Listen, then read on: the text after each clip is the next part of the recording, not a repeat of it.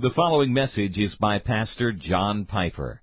More information from Desiring God Ministries is available at www.desiringgod.org. Here's my second argument. We have seen already in this course that God's aim in the universe is to be known and enjoyed by His creatures and thus to be shown more glorious than any other reality. Corporate worship is one essential way that God designs for this display of His glory to be expressed in the world and in anticipation of the final perfect worship of the age to come. So, saying that the, the essence of worship is a satisfaction in God in the heart doesn't mean that it should just stay hidden in the heart. It should be displayed first in all of life in the way you live your life, but also in corporate expressions of satisfied saints giving expression and voice to their delight in God or their grief over not having delighted in God. And when you do it together in a gathering, it is uh, it displays something more of God than if you just did it by yourself. There's something more beautiful scene when diverse people get together in one room under one Christ with one corporate collective yes and I love you to God than if they just all go out into their little pockets in the woods all by themselves and say, Yes, I love you, God. That's good. That's good to do that by yourself. But if you don't unite with the people of God regularly to corporately say, Yes, we love you, then God doesn't get all the glory in this fallen world that he's supposed to get. Third, corporate unified supplication, thanks, praise, displays more of the glory of God than individual acts of supplication, thanks, and praise because harmony in diversity is intrinsically more beautiful than mere unison. Harmony in diversity is intrinsically more glorious, more beautiful than mere unison singing. Which means that when a group of, of diverse people, not thinking mainly here about singing, just using that as an analogy, they get together and you come from many different backgrounds, there are many ages, there are many socioeconomic strata represented, many different tastes, and somehow a couple thousand people can come with one heart and one mind before one God and say one corporate collective praise you, something glorious of God is revealed at that moment. And that's why worship becomes so important at the corporate level. Harmony in diversity requires more grace from God to bring it about among sinful people who by nature are selfish and want their own way rather than deferring to others in love. So those are three observations under point one.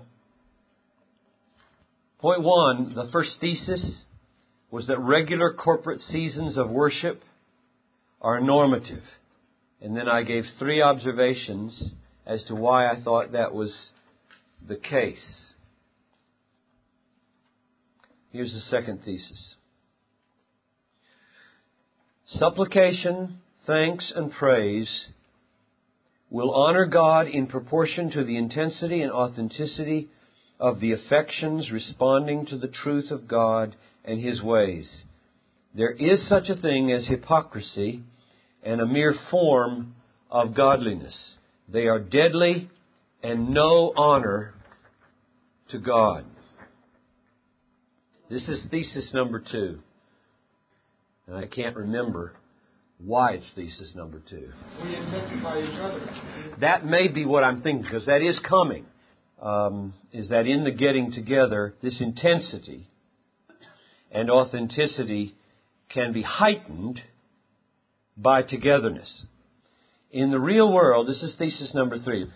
In the real world of ordinary Christians, the pursuit of satisfaction in God through supplication, thanks, and praise do not usually arise in the hearts of God's people without being stirred up in some way when they come together. So that's the point Bob was saying that one of the functions of corporate gatherings is that even though heartfelt satisfaction in God is the essence of worship, most of us languish in that.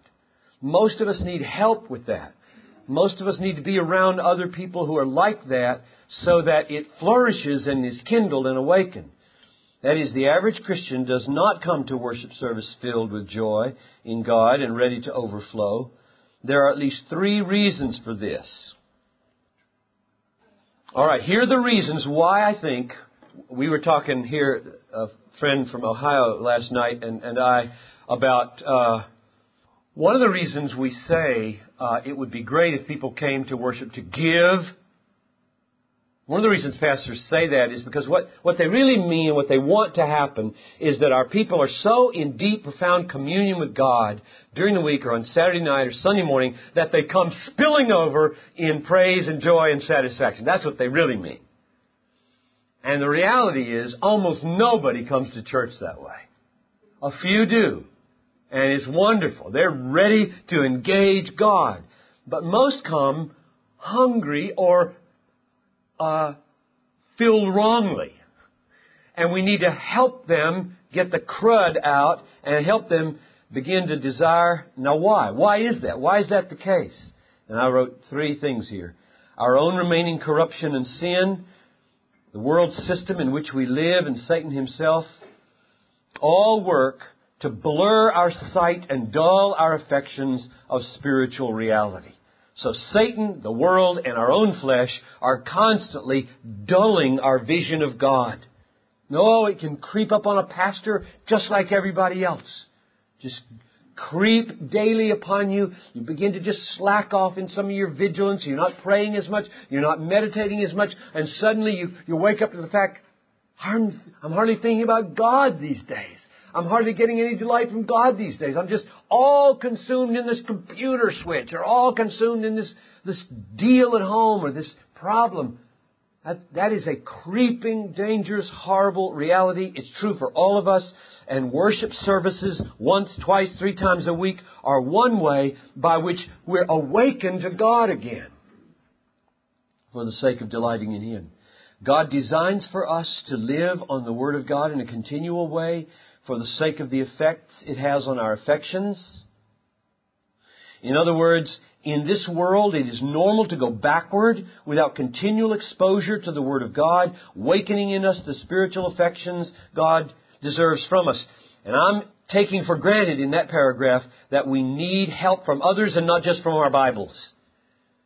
Yes, personal devotions are important, but God has ordained, and we'll get to this in a minute, that there be preachers and teachers and friends who both preach to us, teach to us, and exhort one another every day as long as it is called today, lest there be in any of you an evil heart of unbelief leading you to fall away from the living God. We need the Word of God not just from a book, in our private devotions, we need it spoken to us, heralded to us, driven into us, exhorted and admonished into us.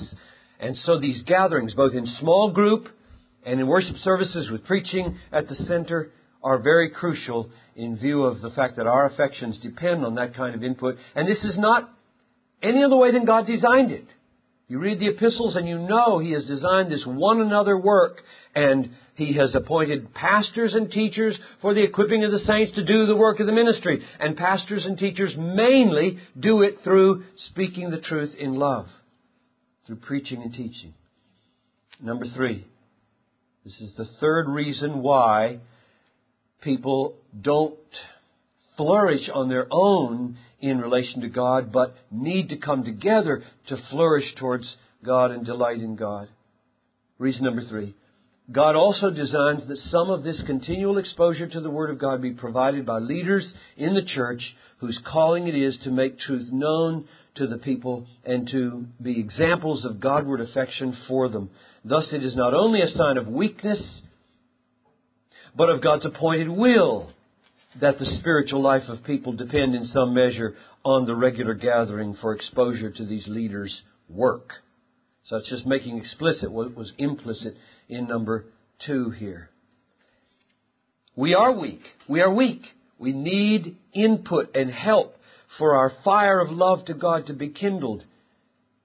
but it's not just a desperate act of weakness. God has designed the body so that there are people with different gifts, and when you gather together, those gifts become useful in strengthening our affections for God. So, thesis number three is that we come together and they are normative. It's normative to come together because the way we are wired makes it fitting and right and necessary that we meet to awaken each other's affections for God and strengthen them and deepen them. Thesis number four. Therefore, essential to corporate seasons, to a corporate season of worship, of thanksgiving, of supplication, thanks, and praise, is a fresh declaration of truth about God and a fresh demonstration of affection for God. You can see I'm moving toward preaching here. It's essential that in that service, or whatever you want to call it, that togetherness, where the people of God come together, there be a fresh declaration of truth about God and a fresh demonstration of affection for God.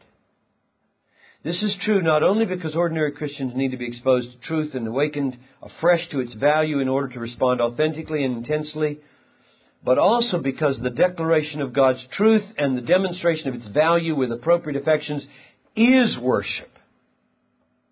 It's not just trying to awaken worship, it is worship.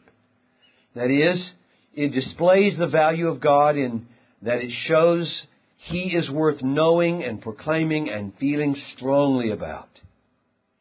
Thus, it would be misleading to think of the declaration of God's truth and the demonstration of affection for God as preparation for worship.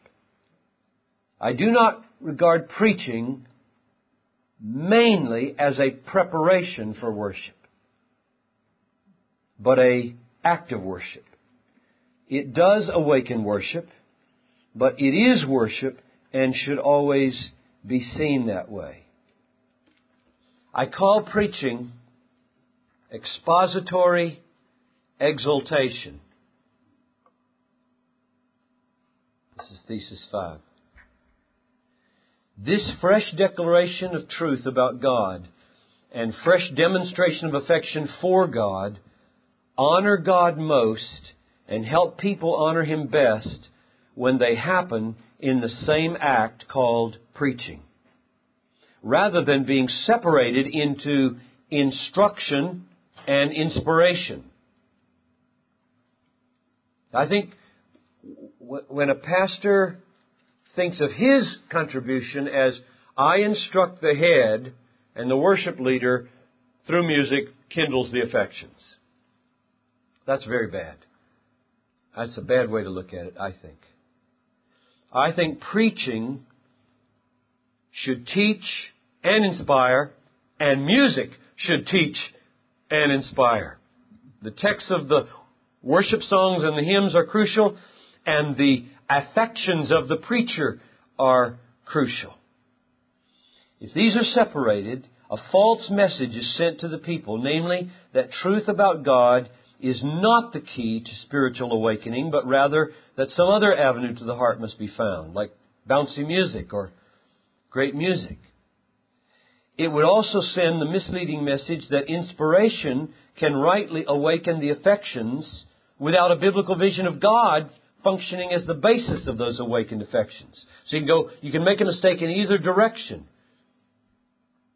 So I'm arguing here that at the center of the gatherings should be a fresh declaration of truth and a fresh exultation over that truth and its value. And I'm saying that preaching is the kind of communication that combines those two things into one. Expository exultation. It has the head dimension and the heart dimension. So we've often thought of preaching as our time of focus, the truth of God, singing praises, prayer, etc., as a time of response. I'm hearing you saying both of those are. I think that's an unfortunate dichotomy. If you thought through what you mean by focus, I, I think if you stuck, if you just took that without any qualification, it would produce boring preaching. because it would be communicating to the pastor um, you don't really have to be modeling worship in the declaration of this focus.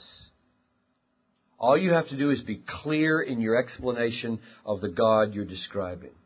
And clarity and precision and, and accurate exegesis and exposition become then the substance of it, whereas I think um, the preacher in his focusing of the people is responding to the God he sees as he focuses.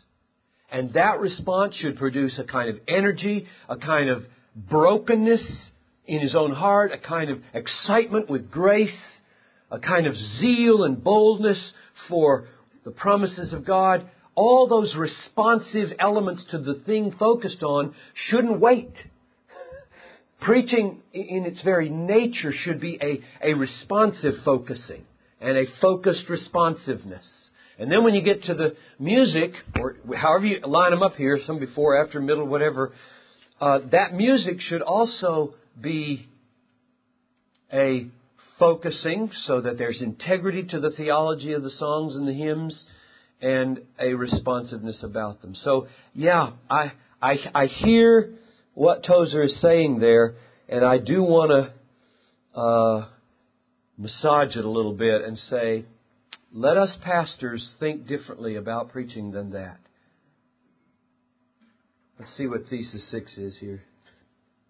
Let's get more more specifically biblical about warranting uh, what I've just said about preaching. There is biblical evidence from the time of Ezra to Jesus to the synagogue to the beginnings of the Christian church that corporate worship included preaching. Let me give you a few texts. Ezra blessed the Lord, the great God, and all the people answered, Amen, Amen, lifting up their hands. They bowed their heads and worshiped the Lord. So here's a worship gathering. They worshiped the Lord with their faces to the ground. Also, Jeshua, Bani, Sherebiah, Jamin, Akub, Shabbethai, Hodiah, Maaseiah, Kelita, Azariah, Jozabad, Hanan, Pelaiah, the Levites, helped the people to understand the law while the people remained in their places and they read from the book, from the book of the law, from the law of God clearly. They gave the sense so that the people understood the reading.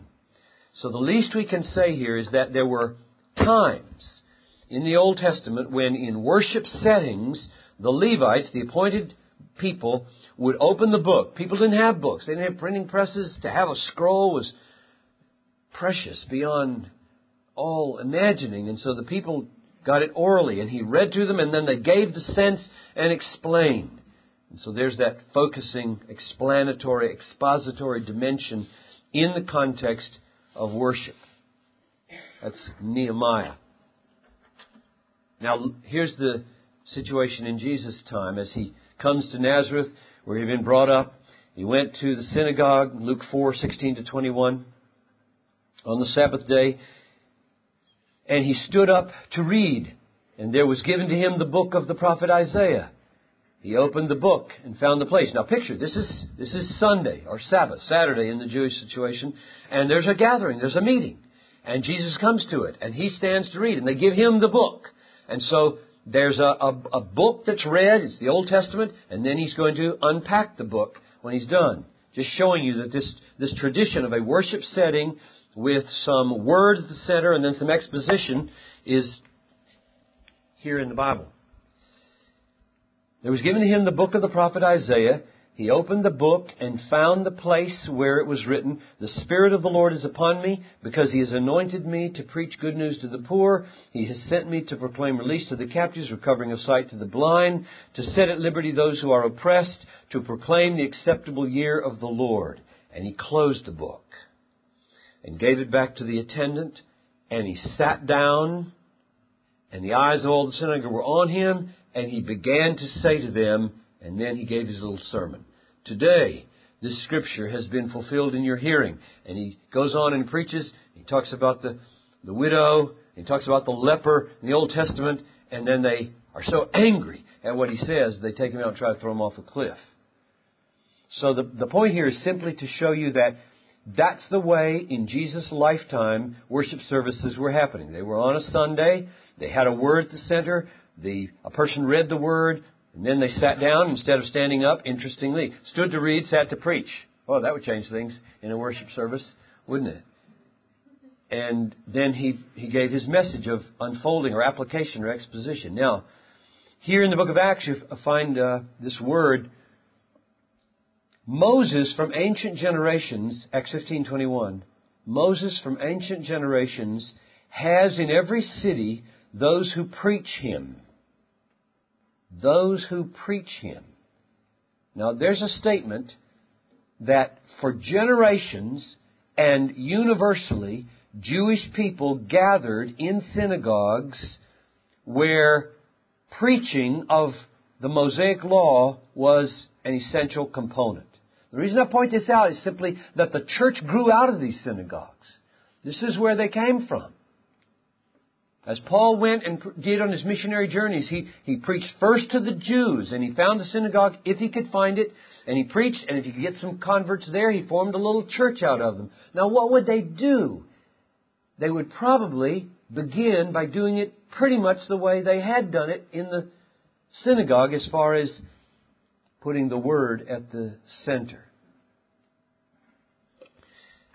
So you get Paul going into a synagogue. Going on from Perga, they arrived at Pisidian, Acts 13, 14, Pisidian Antioch. And on the Sabbath day, they went into the synagogue and sat down. And after reading the law of the prophets, the synagogue officials sent to them, saying, Brethren, if you have any word of exhortation, say it. And Paul stood up and motioning with his hand, said, and then he preached for the next 20 some verses in Acts 13. So the law is read in the synagogue. There's a guest there. They let him take the word of exhortation and the sermon is preached. And then you have Paul in Colossians 1:28 saying this: We proclaim Christ, we proclaim him, admonishing every man, teaching every man with all wisdom, so that we may present every man complete in Christ. This word proclaim here is the word I'm, I chose this text for because that's the word for announce. It's not just teach. And I wanted you to see that it applies to Christians. Not just unbelievers on a street corner, but there's a proclaiming dimension, there's a heralding a dimension to all the saints so that they be made complete in Christ. Romans 1:15 So for my part I am eager to preach the gospel to you Christians also who are in Rome.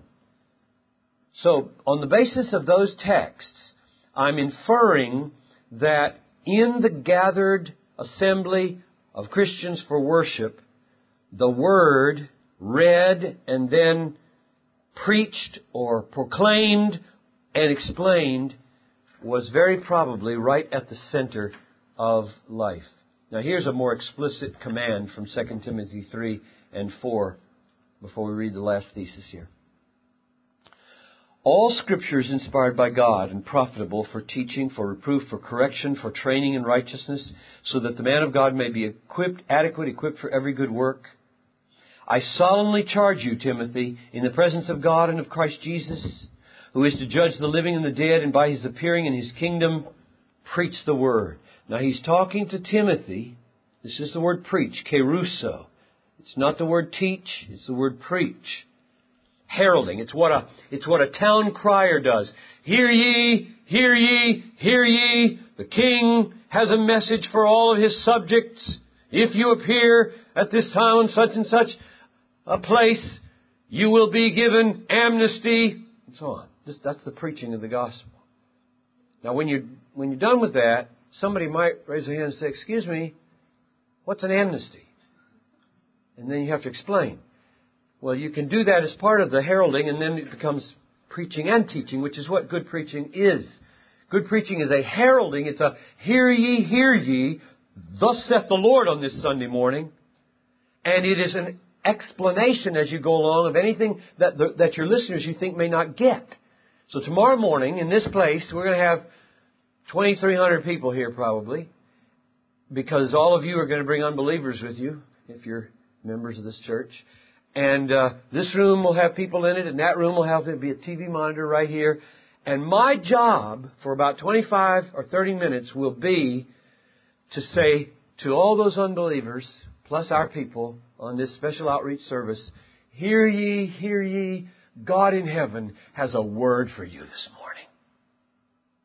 And I know in my head that a lot of those people are unchurched people. They don't know what the word justification means, or sanctification, or redemption, or propitiation, or any of these jargon words that I love. And therefore, part of my preaching job tomorrow will be to try to get inside those heads out there and find language that will be intelligible. Preach the word is a command to Timothy, and Timothy was the pastor of the church in Ephesus. And uh, I think this is in the context of saints being equipped for every good work. Preach the word so that you'll equip the saints for every good work by using the word. And then he continues, be ready in season and out of season. Funerals come on out of season times. Reprove, rebuke, exhort with great patience and instruction, for the time will come when they will not endure sound doctrine, but wanting to have their ears tickled, they will accumulate for themselves teachers in accordance with their own desires, and will turn away their ears from the truth and will turn aside to myths. That unit right there, I think, is one of the clearest, strongest commands that preaching be a part of the life of a church. Because this preach the word is not mainly evangelism here. This is mainly in the context of the Word of God, strengthening the people of God and guarding them from false teaching and error. Thesis number seven. Therefore, preaching as worship or preaching as expository exultation is a normative element in worship services, at least some worship services. I wouldn't argue that it has to be there, for example, in a small group. A small group doesn't have to have preaching the same way that uh, a larger service might. But somewhere, I mean, suppose you're a pastor of a church with, say, 25 people. This is why my, Bob, my invitation to come to be with your group on Sunday night was such a help to me. Uh, Bob, once a month or so, is it once a month? Every other month uh, if, if you know of anybody who has a uh, severe reaction to chemicals and can't survive in most sanctuaries where they have all kinds of carpet and paint and stuff, uh, Bob gathers people in his cleanse home and they have a little worship time on Sunday evening. And they asked me to come there and speak. Now, I usually preach to, you know, 18, 1900 people on Sunday morning, and, and that calls for a certain kind of you know, projection. Well, here I am with 12 people the other night, and I thought to myself, now, now how do you do this? Did, if I were the pastor of a church in Sigri, Guinea, and there were 12 people, would I do what I do on Sunday morning? Well, yes and no. You wouldn't project with the same force and loudness if you got a little group in a small room. But I found myself, Bob, sitting on that chair, coming to the edge of my chair, and bouncing a little bit on the edge of the chair as I spoke this word. In other words, there, there is a, a preaching dimension to teaching, even when there's just 12 people there. Because if you be, if you're stirred by what you're saying, if you love the God you're announcing, and you love salvation, and you love heaven, and you love grace, and you love forgiveness, and you love reconciliation, it begins to to express itself in certain ways of emotion and passion that I call preaching. Expository exultation. It can be done with 20 and it can be done with 2,000 and it can be done with 20,000 and the form will just alter a little bit. I don't know if you've ever listened to Alexander Scourby read the Bible on tape. If you don't have uh, Bible tapes and you and you can ride in the car and listen to tapes, buy the Bible on tape. And I frankly, even though the King James is hardly used by anybody today, that's what Alexander Scourby read. I wouldn't trade Alexander Scourby's reading of the Bible on tape for anybody's reading, including all the thunder and shaking that they put on tapes nowadays. I don't find that very helpful to have all the sound effects and dramatic effects. I, to me, that's just a distraction. But the reason Scourby is a model Bible reader is because without changing, I mean, here he is. He's probably reading into a microphone in a, in a studio somewhere. And without changing the decibels of his voice very much, you can actually hear by the way he reads it when the crowds are shouting, crucify him, crucify him. And you can hear God whispering with a still small voice. And he uses his voice in such a marvelous way that you can hear the shout although he's not shouting, and you can hear the whisper, though he doesn't drop too low for you to come through the tape. And preachers need to work at that so that uh, whether you're in a small group, little little house church, or a big group, there can be appropriate modulations of the voice or whatever it takes so that the affection of crucify him, crucify him, and uh, the still small voice comes comes through. This way of warranting preaching in worship will have profound effects on how the preacher pursues the preparation and execution of his work. In other words, if you, if you believe that being expository because you're dealing with a, an inspired book that has to be explained and made clear and a message clearly announced, and you believe in exultation in the very act of doing it because it is so glorious, this truth, that if it didn't have an echo in the emotion of the preacher, it would be a self contradiction. Then that's going to affect the way you prepare to preach and the way you teach your people to listen and how you view that whole transaction. I, I view the 30 to 40 minutes that I preach on Sunday morning as a high moment of worship for me and for our people. I expect that the energy that's happening in that transaction is very Godward. And that people's affections, as they're listening, are ascending Godward. That inside, and I wish more outside, I could use a few more mm-hms or amens. I mean, to get no feedback from a people is very strange. I'll tell you, it is very strange. Now, Bethlehem's, thank you. And I, I won't say thank you if it just becomes normative. I mean, it can, of course, get out of hand, and that's probably what everybody's scared of. But frankly, we're not in danger. We're not in danger of it getting out of hand at Bethlehem. And there are ways to do it with a nod, with a smile, with a mm-hmm, or with periodic yes and amen. What? Thank you. Okay, end of number three. That was an argument for the fact that from the nature of Christian living and the nature of human heart and the nature of God, plus some pattern that we see in the Bible that there should be services of worship and that preaching should be a part of them. So much more should, could be said there. I, I know I'm, I'm, that's a much stronger case could be made than what I've just made, but that's all I'm going to say about it because I want to really get into the nature of it. Questions at that point about anything? Yeah. Have you found a text that indicates uh, regular expository preaching and teaching was uh, commanded in the Old Testament? Not explicitly. Anybody know of one? A text that says regular expository preaching or teaching or explaining of the law was commanded in the Old Testament. You sure have pointers, I think, in that not only do you have Ezra explaining the law once, uh, but you have those Psalms where he delight in the law of the Lord and meditate on it day and night. Now, can that happen without books? Got no books, no printing press, no scrolls. People don't have any access to written Word of God. How's that going to happen if they're not being regularly fed what they can meditate on? So I think by implication, there probably was a lot of word sharing going on as soon as Moses came on the scene. Other question or comment on Bob? Uh, there's also comments about teaching your children um, Christ. Absolutely. That's good. There's Malachi 3.16, those who uh, hear the Lord spoke to one another. There's all sorts of things about speaking to one another right. in the Psalm. Right. That's real good to be reminded about the household worship and the father's responsibility especially to to teach his children the word of God. I'm looking at the clock. This is probably the best place to break rather than start a new unit. So let's take about a five or seven minute break here, and then we'll come back and move on these next ones.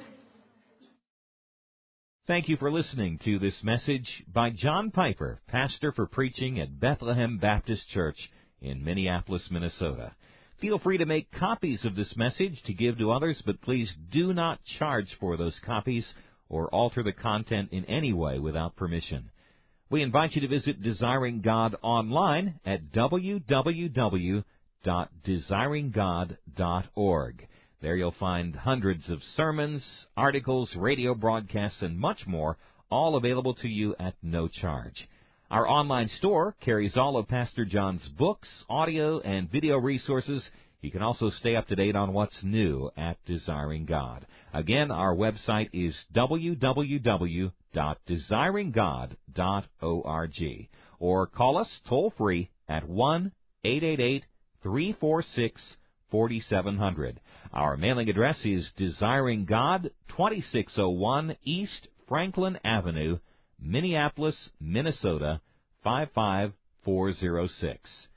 Desiring God exists to help you make God your treasure because God is most glorified in us when we are most satisfied in Him.